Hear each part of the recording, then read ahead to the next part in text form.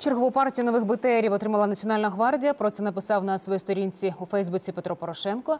Президент зазначив, київський бронетанковий завод оснастив бойові машини сучасним цифровим комплексом з лазерним далекоміром і стабілізатором гармати. Машини пройшли повну перевірку всіх систем. Виконано марш-кидок по дорогах і пересічній місцевості. Також проведено стрільби.